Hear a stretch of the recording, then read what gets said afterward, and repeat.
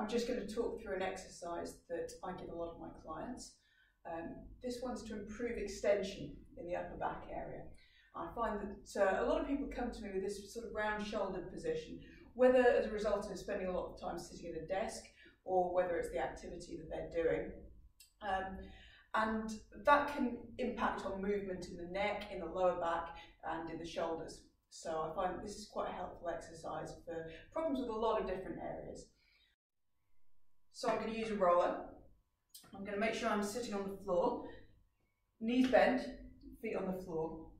I'm going to start with a roller around about my mid-back area, bottom of my rib cage. And what I'm going to do, is use my hands to stabilise my neck, so I don't want too much movement going through the neck with this. And I'm just going to lean back as far as is comfortable and then come back up. I'm going to repeat that about three to five times. And then when I've done that, I'm going to roll up slightly. I'm going to do the same thing again. So I want to make sure I'm getting movement all the way through the upper back I can work, work my way up.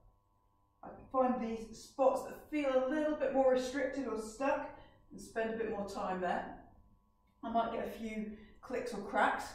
That's not something to worry about, but if there's any pain or discomfort, then do stop and get that checked out by a professional. As I go up,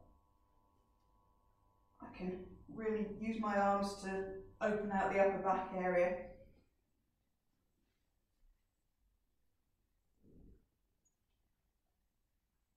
and I'll keep going until I get to the top of the upper back